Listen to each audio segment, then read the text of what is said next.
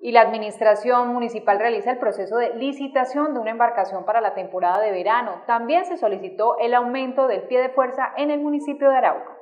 En el debate en el Consejo Municipal de Arauca sobre el tema de seguridad, la Administración Municipal se comprometió de dotar con un bote a la Infantería de Marina del municipio capital para que pueda navegar en la temporada de verano por los bajos niveles del río Arauca. Ellos están haciendo el respectivo control, han atendido oportunamente las instrucciones que ha impartido el señor alcalde. Em, por eso, dentro de los recursos del Fondo de Seguridad, ellos solicitaron eh, un bote que ya está aprobado dentro de estas eh, proyecciones de inversiones del Comité de Seguridad y eh, estamos atentos a iniciar este proceso de contratación.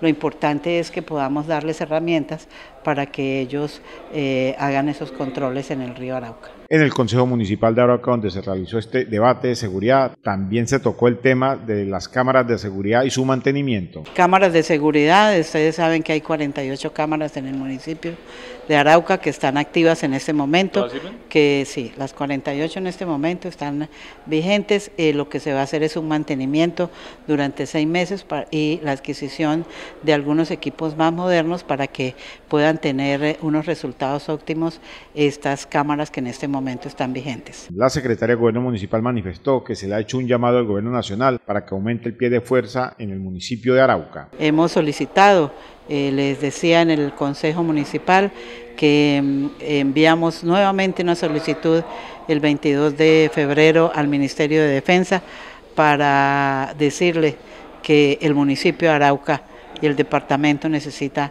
más pie de fuerza. Según la jefe de la cartera de gobierno, solo Arauca cuenta con 180 policías para la seguridad día y noche. Efectivamente, ese es el número que está y como les decía, a veces internamente ellos dentro de la organización pues tienen que disponer de la parte administrativa para poder reforzar.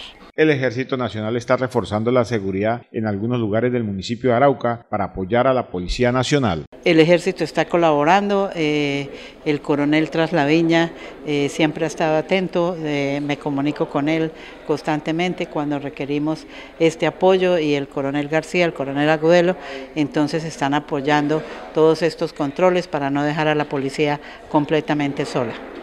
Según los asistentes al debate de seguridad, este es otro debate más que se convierte un saludo más a la bandera.